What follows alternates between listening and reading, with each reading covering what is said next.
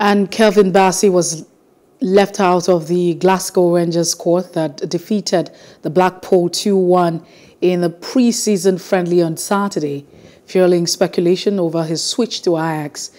The Greece, according to reports, uh, granted him permission to discuss terms with Ajax for a summer move after both clubs reportedly agreed on a fee of 22 million pounds plus an additional 5 million pounds in add-on.